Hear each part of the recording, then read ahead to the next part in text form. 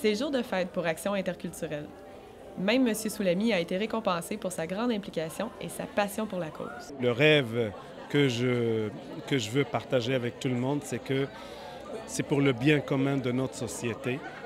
Travaillons ensemble à tous les jours, à toutes les semaines, à tous les mois, à tisser des liens de compréhension et de, de rapprochement pour faire en sorte que chacun soit bien.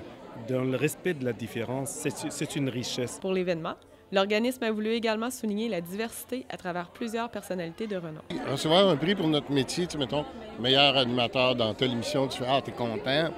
Mais recevoir un prix pour ta passion, quelque chose que tu fais, euh, ben en fait, que tu fais pas pour que ça te fasse avancer dans ton métier, que tu fais vraiment parce que tu y crois, c'est beaucoup plus flatteur parce que c'est une façon de s'apercevoir que ce qu'on fait sert à quelque chose. C'est un très bel honneur pour moi, mais en même temps, je l'accueille avec beaucoup d'humilité parce qu'il y a tellement à faire au niveau de l'interculturalisme.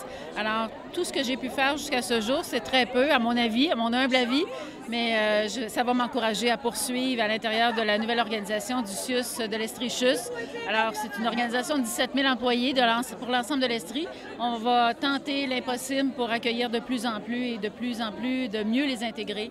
Euh, l'ensemble des personnes qui voudront venir dans le milieu de la santé, on en a besoin. On a une pénurie de main-d'œuvre, alors il faut vraiment l'encourager. Mais il faut prendre des bons outils faut être bien euh, entouré, puis des, actions interculturelles avec son 25 ans. Alors, euh, je pense qu'ils ont les bonnes façons de faire pour qu'on puisse réussir. Présent dans plusieurs sphères de la société, Action interculturelle compte poursuivre son développement encore pour au moins un autre 25 ans.